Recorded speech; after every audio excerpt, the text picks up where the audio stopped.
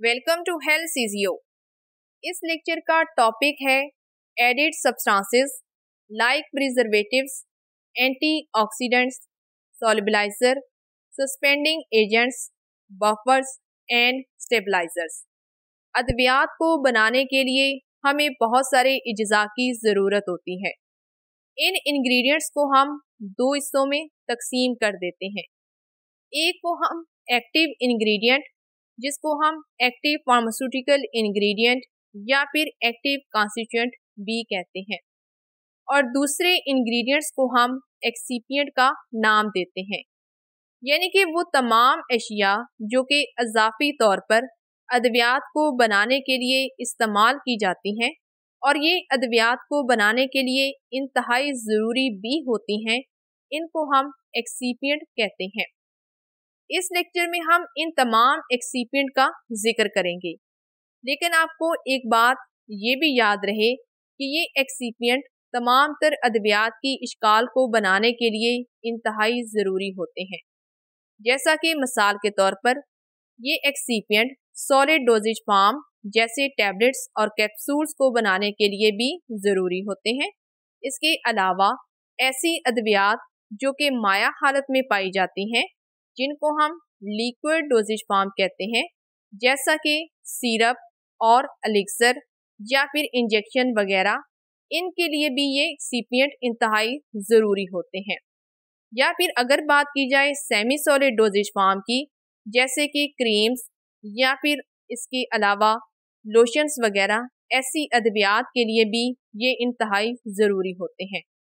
और आखिर पर ऐसी अद्वियात जो कि गैशियस डोजेज फार्म होती हैं, जो कि गैस की शक्ल में पाई जाती हैं, जैसे कि एरोसोल और न्यूबलाइजर्स वगैरह, इनके लिए भी ये एक्सीपियंट इंतहाई ज़रूरी होते हैं।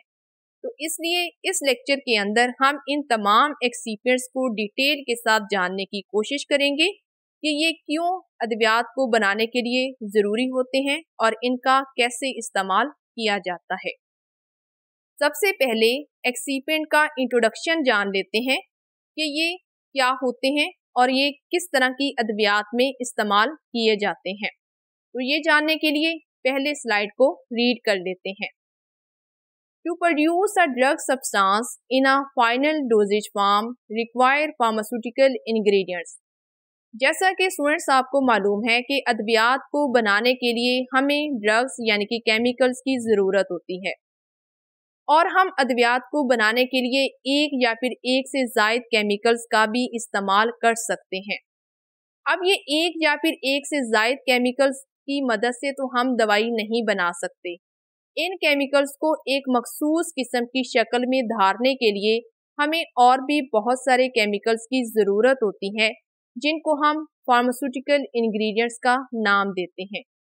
इसलिए अब ये बात वाजिया हो चुकी है कि अद्वियात को बनाने के लिए जहाँ पर हमें एक्टिव इंग्रेडिएंट या फिर एक्टिव फार्मास्यूटिकल इंग्रेडिएंट की ज़रूरत होती है, वहाँ इसके साथ साथ हमें कुछ अजाफी इंग्रेडिएंट्स की भी ज़रूरत होती है।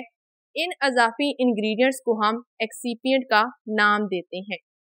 जैसा कि मिसाल के तौर पर अगर हम घर में चावल बनाते हैं और चावलों में अगर हम मटर या फिर गोश्त वगैरह भी डाल देते हैं तो लेकिन हम इनको नाम सिर्फ़ चावल का ही देते हैं। हम ये नहीं कहते कि आज हमने इसके अंदर गोशत या फिर आलू या फिर इसके अंदर मटर और साथ साथ नमक और मिर्च भी डाली है, हम ऐसा कोई नाम नहीं देते। क्योंकि जो चीज़ फाइनल प्रोडक्ट होती है, वो उसकी राइस यानी कि चावल होते हैं। इसी तरह स्टूडेंट्स ये जो हमारे पास अद्वियात होती हैं इनको भी एक मखसूस शक्ल देने के लिए हम इनमें बहुत सारी अजाफी चीज़ों का इस्तेमाल करते हैं। और इस लेक्चर में इन तमाम अजाफी चीज़ों को ही हम डिस्कस करेंगे, जिनको हम एक्सीपियंट का नाम दे रहे हैं। For example in the preparation of solutions one or more solvents are used to dissolve the drug substance जैसा कि मिसाल के तौर पर हम सोल्यूशंस की बात करते हैं। सोल्यूशंस को बनाने के लिए हमें दो चीज़ों की ज़रूरत होती है। एक सल्यूट और दूसरा हमारे पास सॉल्वेंट सॉल्वेंट क्या होता है? वो चीज़ जो कि क्वांटिटी में सबसे ज़्यादा होती है और जिसको हम पहले ही बीकर में डाल लेते हैं, यानी कि वो चीज़ जो कि तादाद में भी ज़्यादा है और पहले से बर्तन में मौजूद होती है, इसको हम सॉल्वेंट कहते हैं। और वो चीज़ जो कि हम बाद में इसमें डालते हैं और जिसकी क्वांटिटी भी हमारे पास कम होती है, इसको हम सल्यूट कहते हैं। तो इस तरह हमें ये बात वाजिया हो चुकी है कि सोल्यूशंस को बनाने के लिए हमें दो चीज़ों की ज़रूरत होती है सॉल्वेंट और सल्यूट और इन दोनों को मिक्स करने से जो चीज़ बनती है, इसको हम सोल्यूशन कहते हैं। लेकिन सोल्यूशंस की तैयारी में जहाँ पर हमें सॉल्वेंट और सल्यूट की ज़रूरत होती है इसके साथ साथ हमें और भी बहुत सारी अजाफी चीज़ों की ज़रूरत होती है। जैसा कि अगर हमने सोलूशन किसी खास किस्म की बीमारी के मकसद के लिए इस्तेमाल करना है तो हम इसमें कोई ड्रग सब्सटेंस को लाजमी से एड अप करेंगे। तो इस तरह से हमारा ये सोलूशन किसी खास मकसद, किसी खास बीमारी के लिए बन जाएगा। इसके साथ साथ हम इसमें बहुत सारी अजाफी चीज़ों का इस्तेमाल करेंगे, जैसे कि फ्लेवर्स यानी कि हम अपने सोल्यूशंस को एक ख़ास किस्म की खुशबू, एक ख़ास किस्म का जायका देने के लिए इसमें मज़ीद फ्लेवर्स को ऐड करेंगे।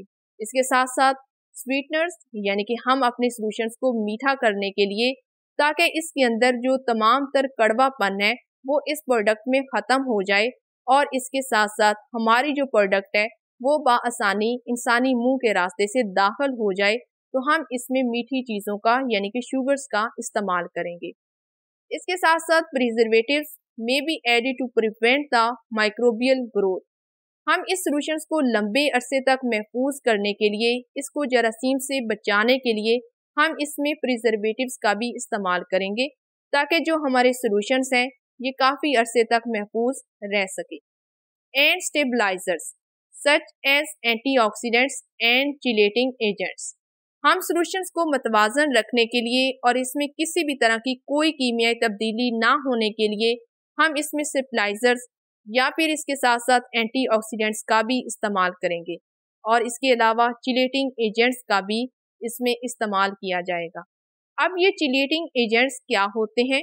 पहले इसी को जान लेते हैं।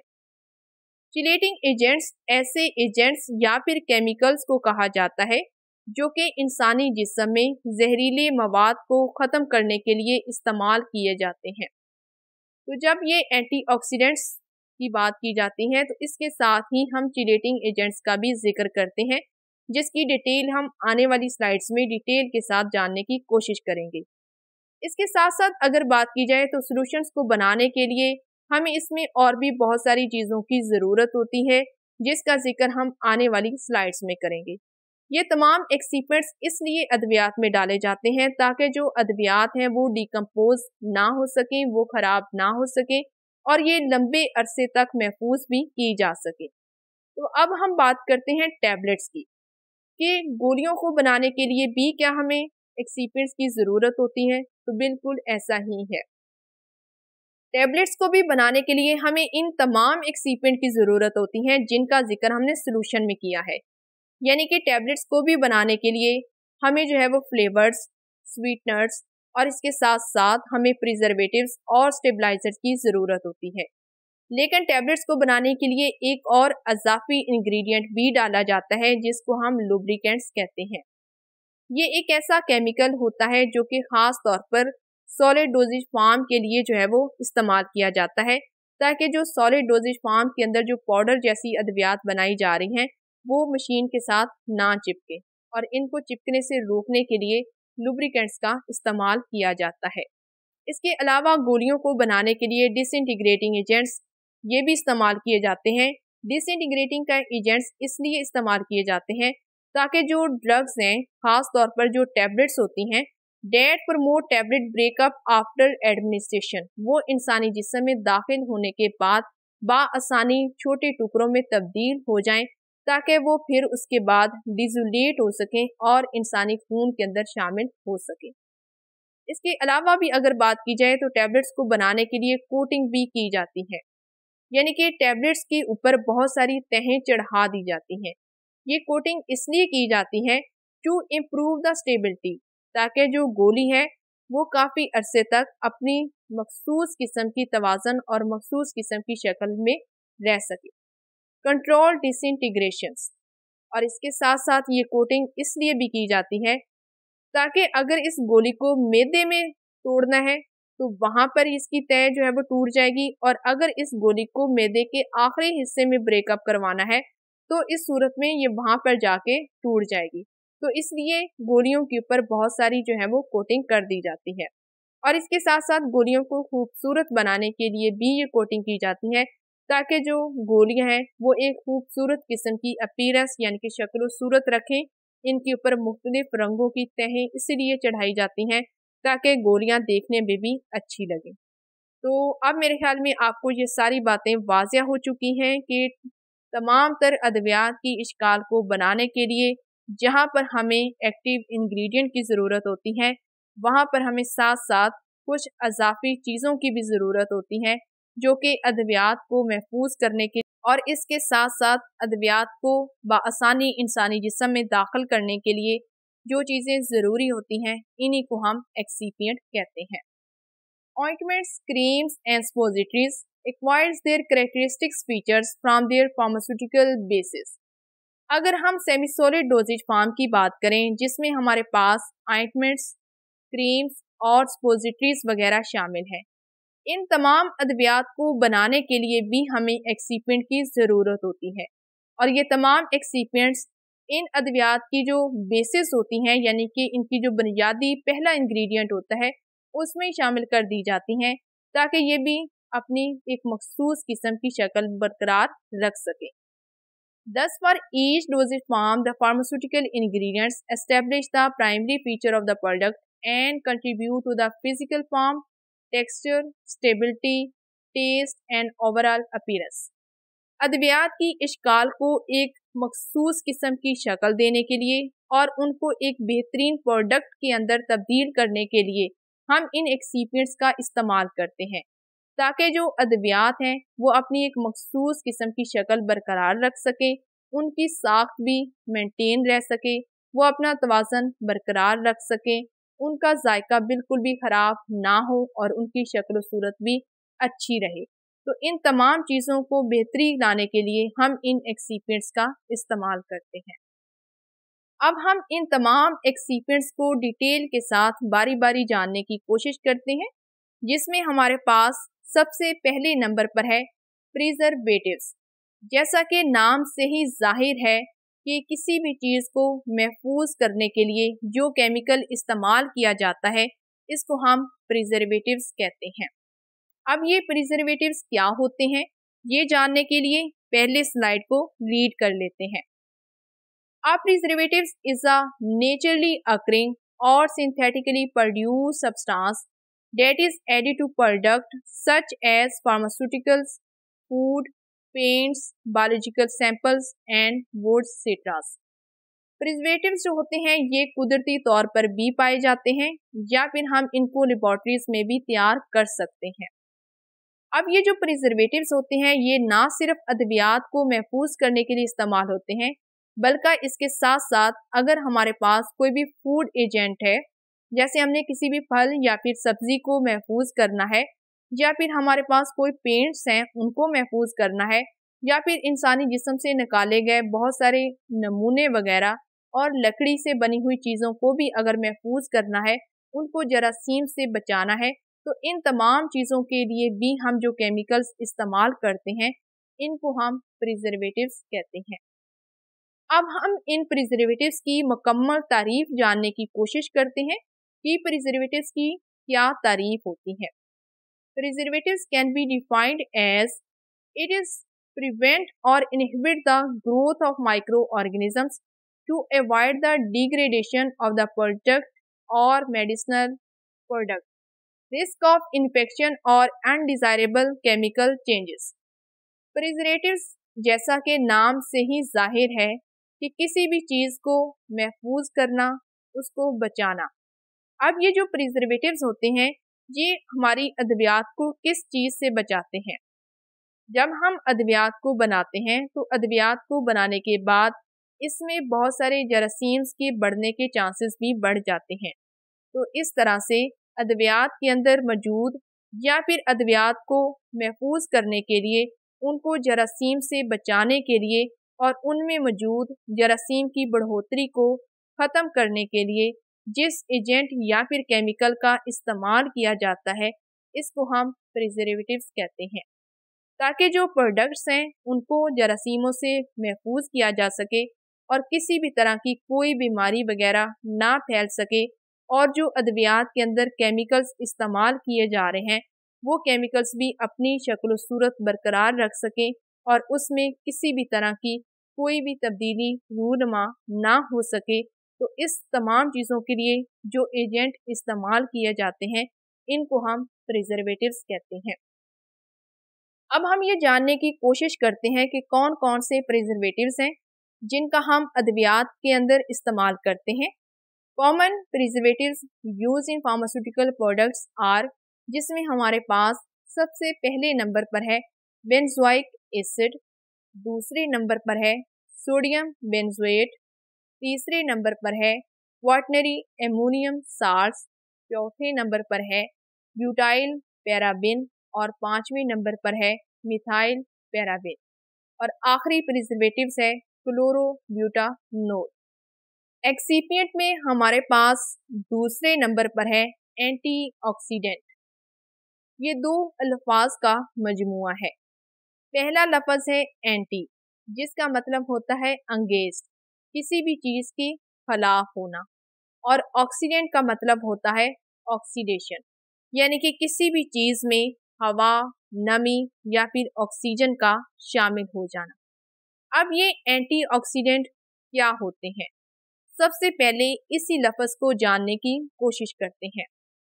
ऐसी सब्सटेंस या फिर ऐसे केमिकल्स जो कि अद्वियात में मौजूद नमी को ख़त्म करते हैं ताकि अद्वियात लंबे अरसे तक महफूज रह सके। और ये केमिकल्स या फिर जो मालिक्यूल्स होते हैं, जो कि इंसानी जिसम में मौजूद फ्री रेडिकल्स को ख़त्म करने का काम करते हैं, इन्हीं को हम एंटीऑक्सीडेंट्स का नाम देते हैं। सबसे पहले लफज ऑक्सीडेशन को ही समझ लेते हैं, क्योंकि एंटी का मतलब तो हम जान चुके हैं, जिसका मतलब होता है किसी भी चीज़ के अंगेज होना। तो ये जो दूसरा लफज ऑक्सीडेंट है, जिसको हम ऑक्सीडेशन कहते हैं, अब ये जानने की कोशिश करते हैं कि ये क्या होता है।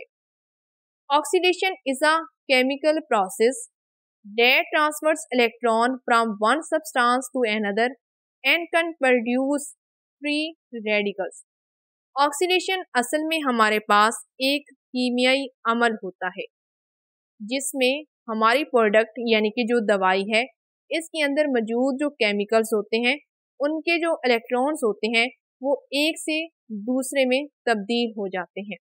जब ये केमिकल्स एक से दूसरे में तब्दील होते हैं तो इनकी इस तब्दीली में कुछ फ्री रेडिकल्स पैदा होना शुरू हो जाते हैं।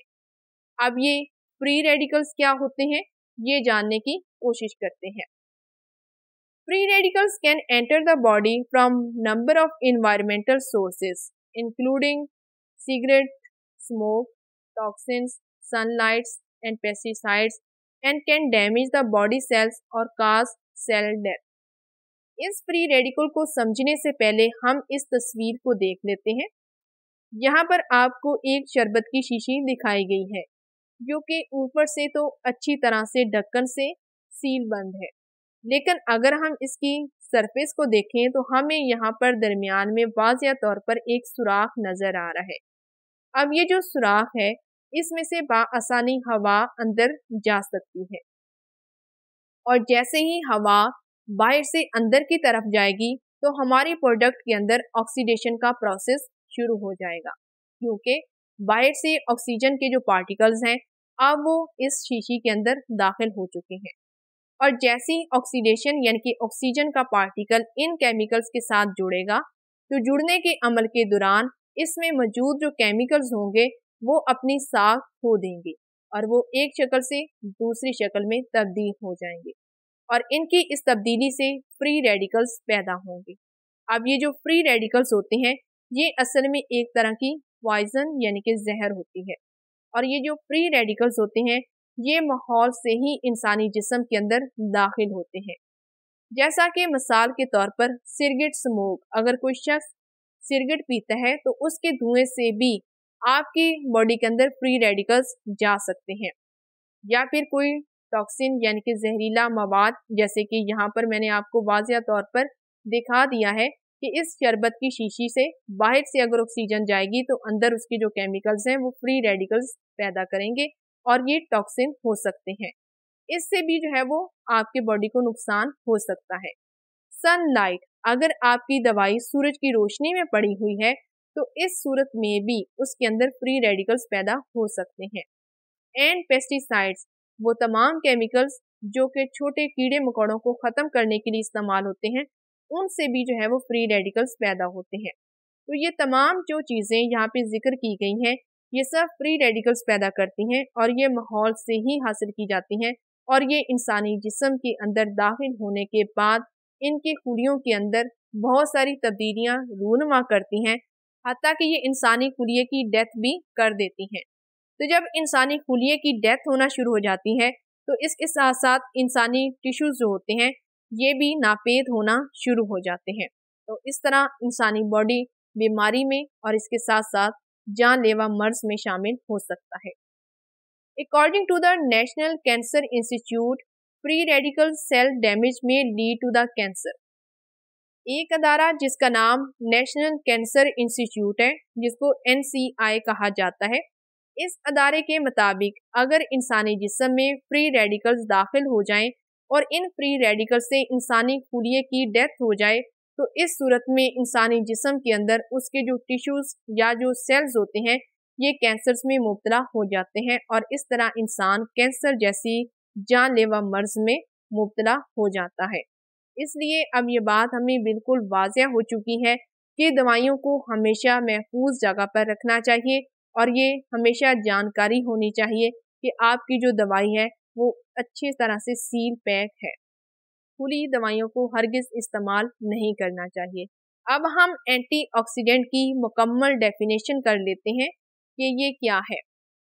Antioxidants are used to reduce the oxidation of active substances and excipients in the finish products antioxidants की तारीफ़ कुछ इस तरह से है कि ये ऐसे केमिकल्स को कहा जाता है, जो कि ख़ास तौर पर अद्वियात को बनाते वक्त और जब अद्वियात मुकम्मल तौर पर तैयार हो जाती हैं, तब भी हम इसमें एंटीऑक्सीडेंट्स को डाल सकते हैं।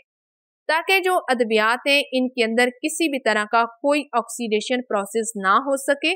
और अगर हमने इन अद्वियात को बनाने के लिए एक्सीपियंट का इस्तेमाल किया है तो कोई भी एक्सीपियंट भी ऑक्सीडेशन का प्रोसेस ना कर सके। इन तमाम केमिकल्स को ऑक्सीडेशन के प्रोसेस से रोकने के लिए इनमें एंटीऑक्सीडेंट्स केमिकल्स का इस्तेमाल कर दिया जाता है, ताकि अद्वियात अपनी शक्ल सूरत बरकरार रख सकें। और अगर इनमें कोई भी नमी जाती है तो वो नमी एंटीऑक्सीडेंट केमिकल्स के साथ मिलकर ख़त्म हो जाए और दवाई के केमिकल्स में किसी भी तरह का कोई नमी वगैरह पैदा ना हो। Commonly, antioxidants are included in pharmaceutical products to enhance the stability of therapeutic agents अद्वियात को बनाने के लिए एंटीऑक्सीडेंट्स का इस्तेमाल इसलिए किया जाता है ताकि जो अद्वियात में एक्टिव इंग्रेडिएंट या फिर जो एक्सीपियंट इस्तेमाल किए गए हैं, वो अपने तवाज़न को बरकरार रख सकें और इसमें किसी भी तरह की कोई तब्दीली वगैरह ना आए। तो इस स्लाइड में हम इन तमाम एंटीऑक्सीडेंट्स का ज़िक्र करेंगे, जो कि ख़ास तौर पर अद्वियात को बनाने के लिए इस्तेमाल किए जाते हैं। जिसमें हमारे पास पहले नंबर पर है एस्कॉर्बिक एसिड दूसरे नंबर पर है सोडियम एस्कॉर्बेट और तीसरे नंबर पर है सोडियम बायसल्फाइट अब हम अगले एक्सीपियंट की बात करते हैं, जो कि है सोलबिलाइजर। जैसा कि हमें नाम से ही वाजिया हो रहा है, सोलिबलाइज करना, यानी कि इंग्रेडिएंट्स को एक दूसरे में अच्छे से हल पसीर करने के लिए जो एजेंट इस्तेमाल किया जाता है, इसको हम सोलबिलाइजर कहते हैं। मजीद डिटेल जानने के लिए पहले स्लाइड को रीड कर लेते हैं। The excipients used to solubilize drugs in oral and injectables dosage forms are called solubilizer solubilizer भी हमारे पास बतौर एक्सीपियंट इस्तेमाल किया जाता है और सोलबलाइजर्स का इस्तेमाल ख़ास तौर पर ऐसी अद्वियात में किया जाता है जो कि इंसानी जिसम में मुँह के रास्ते से दाखिल की जाती हैं या फिर ऐसी अद्वियात जो कि टीकों की शक्ल में बनाई जाती हैं उनके लिए भी सोलबलाइजर्स इंतहाई ज़रूरी होते हैं। यानी कि जो हमारे पास सोलबलाइजर्स होते हैं, ये ऐसे इंग्रेडिएंट्स होते हैं, जो कि मुख्तलिफ़ तरह के जो केमिकल्स अद्वियात को बनाने के लिए इस्तेमाल किए जाते हैं, उनको हल करने के लिए ही इस्तेमाल होते हैं। Solubilizers is used to improve the solubilization of hydrophobic substances and to increase the bioavailability solubilizers का इस्तेमाल ख़ास तौर पर ऐसे केमिकल्स के लिए किया जाता है, जो कि एक दूसरे में हल नहीं होते, जो कि एक दूसरे से दूर भागते हैं, उनको एक दूसरे के साथ अच्छे से यकसा तौर पर हल पजीर करने के लिए और उनकी बायो अवेलेबिलिटी को बढ़ाने के लिए हम जो केमिकल इस्तेमाल करते हैं, इनको सोलिबलाइजर कहा जाता है।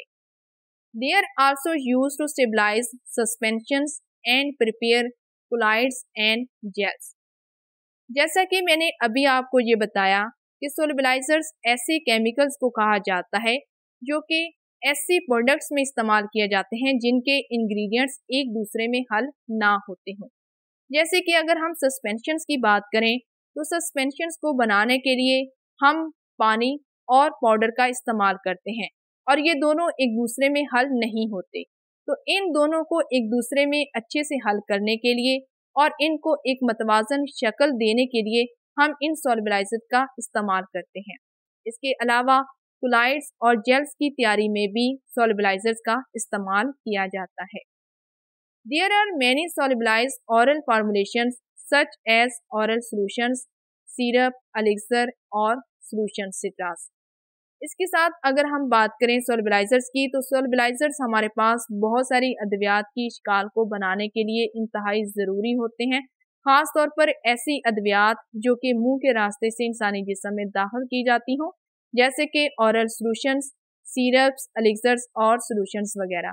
इन तमाम अद्वियात को बनाने के लिए सोलबलाइजर्स का लाजमन इस्तेमाल किया जाता है।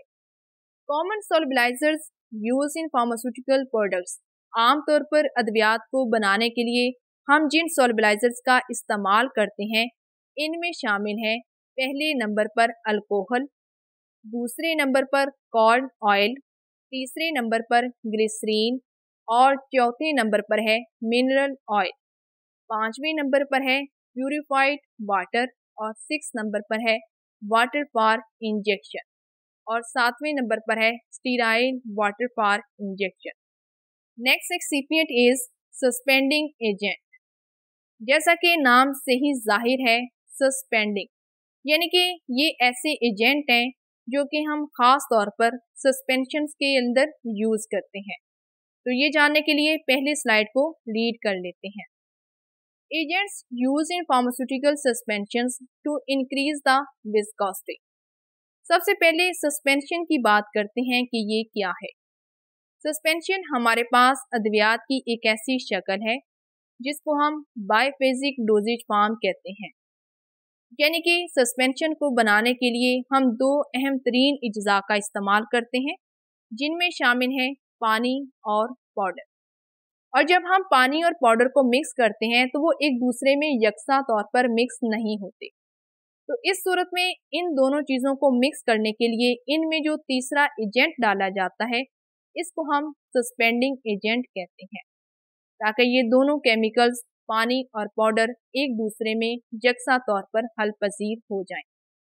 तो ऐसा इसलिए किया जाता है, ताकि जो हमारी प्रोडक्ट है, उसकी विस्कोसिटी बढ़ाई जा सके an agent used in suspension to increase the viscosity of the continuous phase so that the particles remain suspended for a sufficiently long time suspending agent का इस्तेमाल सस्पेंशन को बनाने के लिए किया जाता है।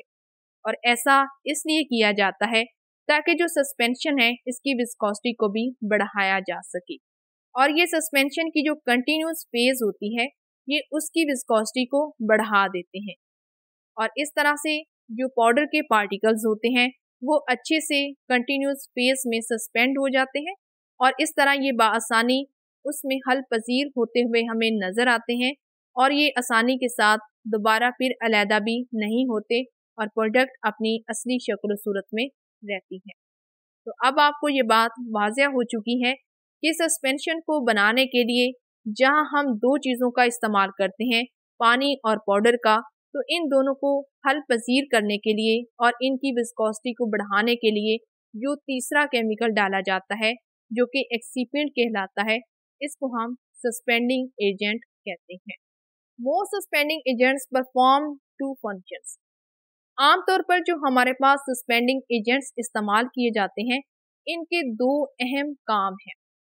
Besides acting as a suspending agent they also imparts viscosity to the solution जहाँ पर हमारे पास सस्पेंडिंग एजेंट दो केमिकल्स को हल करने में मदद देते हैं, इसके साथ साथ ये सस्पेंडिंग एजेंट हमें सोल्यूशन के अंदर जो विस्कोसिटी होती है, उसको भी बढ़ाने में अपना अहम तरीन रोल प्ले करते हैं।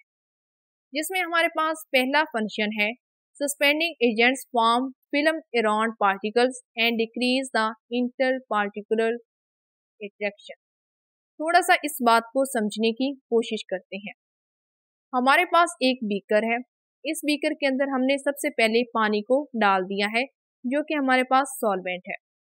अब इसके अंदर हम डालेंगे सल्यूट, जो कि हमारे पास कम तादाद के अंदर है और ये हमारे पास इस वक्त पाउडर भी है। अब ये जो पाउडर है, उसके दाने कुछ हमारे पास इस तरह से हमारे सॉल्वेंट के अंदर पाए जाते हैं। जब हम इसके अंदर स्टीयरिंग करेंगे तो ये तमाम पार्टिकल्स यहाँ पे स्प्रेड हो जाएँगे। तो इन स्प्रेड पार्टिकल्स को हम अच्छे से सस्पेंड करने के लिए इसमें हम डाल देते हैं सस्पेंडिंग एजेंट।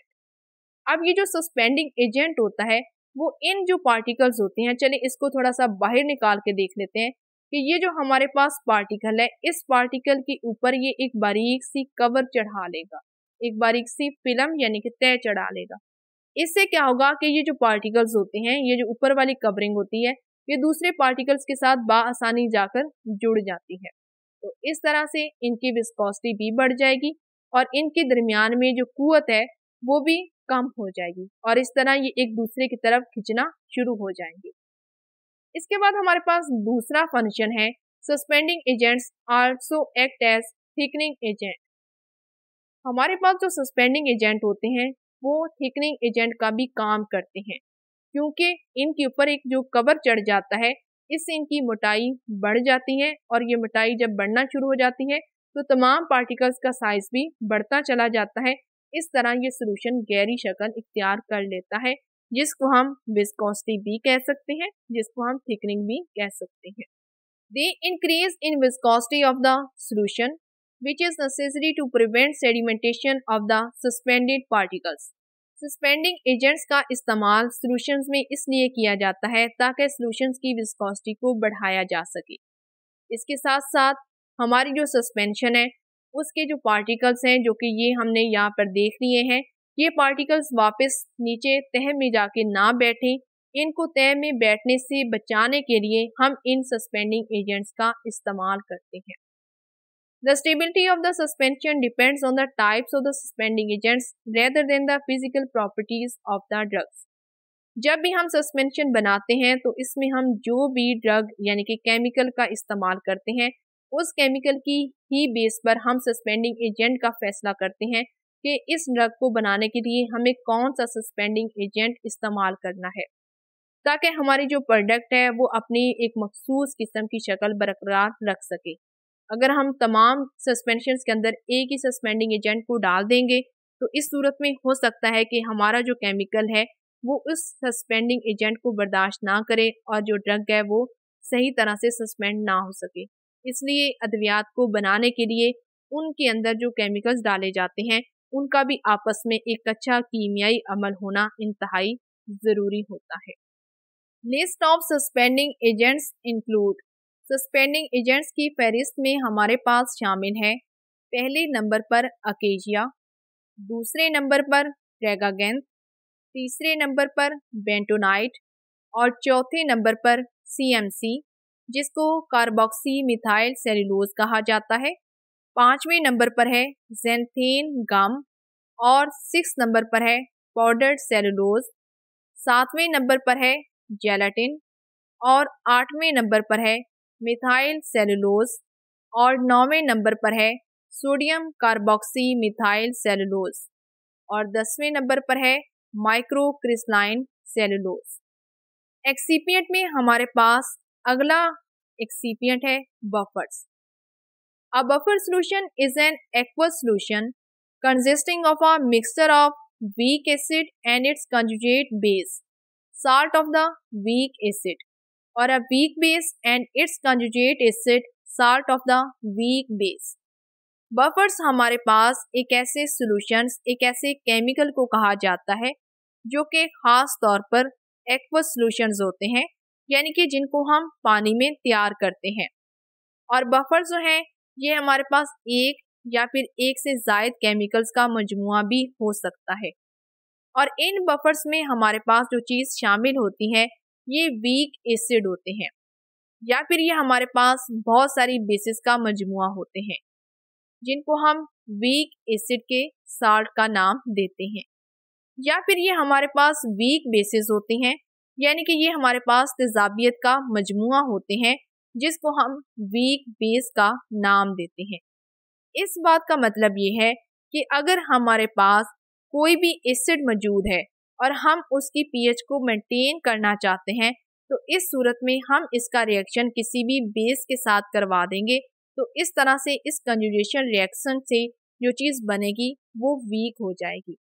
अब हम बात करते हैं कि बफर्स क्या होते हैं और इसकी मुकम्मल तारीफ़ क्या है?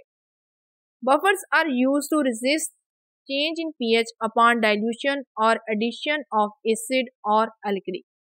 बफर्स हमारे पास ऐसे केमिकल्स को कहा जाता है जो कि किसी भी शय की पीएच को तब्दील होने से रोकते हैं। जैसा कि मिसाल के तौर पर हमारे पास एक बीकर है और इस बीकर के अंदर हमने एसिड को डाला हुआ है। अब हम ये करते हैं कि इस एसिड में हम मजीद एसिड और डाल देते हैं। इस एसिड की हमारी जो पीएच है, वो सेवन है। अब ये जो हमने बाद में एसिड डाला है, इसकी पीएच हमारे पास तीन है। लेकिन हम ये चाहते हैं कि इसकी पीएच बिल्कुल भी तब्दील ना हो। तो जो चीज़ पीएच को तब्दील होने से रोकती है, इसी को हम बफर्स कहते हैं। या फिर हम ये भी कह सकते हैं कि अगर हमने बीकर में एक केमिकल जिसका नाम एसिड है, ये रखा हुआ है। अब हमने इसके अंदर गलती से बेस डाल दी है। लेकिन हम ये चाहते हैं कि इसके पीएच बिल्कुल भी तब्दील ना हो। तो हम इसमें बफर्स को डाल देंगे। तो बफर्स हमारे पास ऐसे केमिकल्स को कहा जाता है, जो कि किसी भी केमिकल्स के अंदर, अगर हम उस केमिकल को डाइल्यूट करें या मज़ीद इसके अंदर तेज़ाब या अलकली डालें, और इसके साथ साथ हम ये भी चाहते हों कि हम इसकी पीएच को बिल्कुल तब्दील ना करें तो जो चीज़ पीएच को तब्दील होने से रोकती है, इसी को हम बफर्स कहते हैं Buffering agents have the variable properties. Some are the soluble than others, and some are the acidic while others are the basics. Buffering agents की बात करें तो इनमें बहुत सारी खसूसियात मौजूद होती हैं कुछ बफर्स हमारे पास सॉलिबल होते हैं और कुछ बफर्स हमारे पास इनसॉलिबल भी होते हैं कुछ बफर्स हमारे पास बतौर एसिडिक यानी कि तजाबियत खासियत रखते हैं और कुछ हमारे पास बफर्स ऐसे होते हैं जो कि अलकली जैसी खसूसियात रखते हैं। अब हम देख लेते हैं कि कौन कौन से बफर्स हैं जिनका इस्तेमाल हम अद्वियात को बनाने के लिए करते हैं। जिसमें हमारे पास पहले नंबर पर है पोटाशियम फॉस्फेट दूसरे नंबर पर है सोडियम एसीटेट तीसरे नंबर पर है सोडियम सिट्रेट जिसको हम एनहाइड्रस एंड डाईहाइड्रेट फॉर्म भी कहते हैं। चौथे नंबर पर है एस्टिक एसिड सोडियम एसीटेट और पाँचवें नंबर पर है बोरिक एसिड सोडियम बोरेट और सिक्स नंबर पर है सिट्रिक एसिड सोडियम सिट्रेट और सातवें नंबर पर है phosphoric acid potassium phosphate. What are the application of buffers buffer का इस्तेमाल अद्वियात में क्यों किया जाता है या फिर इसके और कौन कौन से फवायद मौजूद हैं? जिसमें हमारे पास पहले नंबर पर है buffer solutions are used frequently in pharmaceutical practice particularly in the formulation of the ophthalmic solutions. Buffer solution का इस्तेमाल अद्वियात को बनाने के लिए बहुत ज़्यादा किया जाता है क्योंकि जब हम कोई भी केमिकल बना रहे होते हैं या फिर अगर हम किसी भी केमिकल से एक मखसूस किस्म की दवाई की शक्ल बना रहे होते हैं तो इस सूरत में हो सकता है कि इस दवाई का जो पीएच है वो हमारे जिसम के पीएच से बिल्कुल मुख्तलिफ़ हो। तो इन दोनों के पीएच को मेंटेन करने के लिए, यानी कि दवाई के पीएच को और इंसानी बॉडी के पीएच को मेंटेन करने के लिए जो चीज़ इस्तेमाल की जाती है, उसी को हम बफर्स कहते हैं। और ये बफर्स का ज़्यादातर इस्तेमाल ख़ास तौर पर ऑप्थेलमिक सोल्यूशंस यानी कि ऐसे सोल्यूशन जो कि आँखों में डाले जाते हैं, ऐसी अद्वियात जो कि आँखों में कतरों की सूरत में डाली जाती हैं उनमें बफर्स का इस्तेमाल बहुत ज़्यादा किया जाता है, क्योंकि जो आइस की पीएच है, वो और होती हैं और जो केमिकल की पीएच है, अगर उसके अंदर कोई भी डिफरेंस है तो इन दोनों के डिफरेंस को मेंटेन करने के लिए हम बफर्स का इस्तेमाल करते हैं। इसके अलावा ऐसी अद्वियात जो कि इंजेक्शन की शक्ल में पाई जाती हैं और उनको बतौर इंजेक्शन इंसानी खून के अंदर शामिल किया जाता हो तो ऐसी अद्वियात में भी बफर्स का इस्तेमाल किया जाता है। इसके बाद हमारे पास दूसरे नंबर पर है। Buffer solutions are used in the fermentation process buffer solutions का इस्तेमाल हम फॉर्मेटेशन के तरीक़ाकार में भी करते हैं। तीसरे नंबर पर है। They are also used in chemical analysis and calibration of the pH meters अगर हमने किसी भी सोल्यूशंस की पीएच को देखना हो और हम ये भी चाहते हो कि इसकी पीएच बिल्कुल भी तब्दील ना हो तो बहुत सारे केमिकल्स का तजिया करने के लिए और पीएच मीटर्स को मेंटेन करने के लिए और उसके बारे में तमाम तर जाँच पड़ताल करने के लिए भी हम बफर्स का इस्तेमाल करते हैं। चौथे नंबर पर है majority of biological samples that are used in research are made in the buffers बहुत सारे बायोलॉजिकल सैंपल्स जैसे कि इंसानी जिसम से निकाले जाने वाले बहुत सारे नमूने जात को अगर हमने लंबे अरसे तक महफूज करना है या फिर इन नमूने जात के ऊपर अगर कोई मजीद तहकीक करनी है और उनको कुछ दिनों के लिए महफूज करना है तो ऐसी सूरत में सबसे बेहतर जो सोल्यूशन होता है, इसको हम बफर कहते हैं ताकि ये नमूने हमारे बफर जैसे सोल्यूशन के अंदर लंबे अरसे तक महफूज रह सकें और इनमें किसी भी तरह की कोई तब्दीली रूनमा ना हो सके। एक्सीपियंट में हमारे पास आखिरी एक्सीपियंट है स्टेबलाइजर्स जैसा कि हमें नाम से ही ज़ाहिर हो रहा है किसी भी चीज़ को स्टेबलाइज करना, मतवाजन हालत में रखना अब इसकी मकम्मल तारीफ़ क्या होती है, पहले ये जानने की कोशिश करते हैं Stabilizers is a chemical, which tends to inhibit the reaction between the two or more than two. Stabilizer भी हमारे पास केमिकल्स ही होते हैं, जिनका असल मकसद ये होता है कि हमारे पास अद्वियात को बनाने के अमल के दौरान जितने भी केमिकल्स इस्तेमाल किए गए हैं वो तमाम केमिकल्स अपनी अपनी जगह पर एक मखसूस किस्म की शक्ल बरकरार रख सकें और वो उनमें किसी भी तरह की कोई तब्दीली रूनमा ना हो सके तो इस सूरत में अद्वियात के अंदर एक जो नया केमिकल डाला जाता है, इसको हम स्टेबलाइजर्स कहते हैं। ये असल में अद्वियात के अंदर इस्तेमाल होने वाले जो तमाम तर केमिकल्स हैं, उनके दरमियान जो कीमियाई अमल होने जाता है, उस कीमियाई अमल को रोकने के लिए इस्तेमाल किए जाते हैं। Many products contain excipients that can be categorized as stabilizers in a general sense ज़रूरी नहीं है कि हम एक नए केमिकल को स्टेबलाइज़र का नाम दें। हम अद्वियात को बनाने के लिए जितने भी एक्सीपियंट इस्तेमाल करते हैं, जिनका ज़िक्र हम पहले बड़ी डिटेल में कर चुके हैं, इन एक्सीपियंट को भी आप बतौर स्टेबलाइजर्स इस्तेमाल कर सकते हैं। Using suspending agents to prevent the sedimentation जैसे हमने सस्पेंशन को बनाने के लिए सस्पेंडिंग एजेंट का इस्तेमाल किया था, जिसका मकसद ये होता है कि हमारी जो अद्वियात हैं ख़ास तौर पे जो सस्पेंशन है, उसके अंदर जो पाउडर इस्तेमाल किया गया है, वो पैंदे में जाकर ना बैठे, उस चीज़ को बचाने के लिए हम सस्पेंशन में सस्पेंडिंग एजेंट का इस्तेमाल करते हैं और ये सस्पेंडिंग एजेंट भी बतौर स्टेबलाइज़र इस्तेमाल किए जा सकते हैं। Adding a preservatives to prevent the microbial spoilage अद्वियात के अंदर जो प्रिजर्वेटिव इस्तेमाल किए जाते हैं ताकि अद्वियात को माइक्रो ऑर्गेनिजम्स की ग्रोथ से बचाया जा सके, ये भी हम एज अ स्टेबलाइजर यूज़ कर सकते हैं। और अब buffer to adjust the pH for the optimum stability या फिर सोल्यूशंस के अंदर हम जो बफर्स इस्तेमाल करते हैं ताकि सोल्यूशन के अंदर किसी भी तरह की कोई कीमियाई तब्दीली या फिर उसकी पीएच के अंदर किसी भी तरह की कोई तब्दीली वगैरह ना आए तो इस चीज़ को भी मेंटेन करने के लिए हम जो बफर इस्तेमाल करते हैं, वो भी हमारे पास स्टेबलाइज़र की ही एक मिसाल है। तो अब हमारे पास ये बात वाजिया हो चुकी है कि जो स्टेबलाइजर्स होते हैं that is being added to enhance the product stability stabilizers ऐसे केमिकल्स को कहा जाता है, जो कि अद्वियात को एक मखसूस किस्म की तोज़न एक मखसूस किस्म की शक्ल को बरकरार रखने के लिए इंतहाई ज़रूरी होते हैं। और जो चीज़ प्रोडक्ट की अफादियत को बढ़ाती है, इसी को हम स्टेबलाइज़र कहते हैं। और स्टेबलाइज़र हमारे पास एक नया केमिकल भी हो सकता है, या फिर वो एक्सीपियंट जिनका हम पहले ज़िक्र कर चुके हैं, वो भी हम बतौर स्टेबलाइजर्स अद्वियात में इस्तेमाल कर सकते हैं।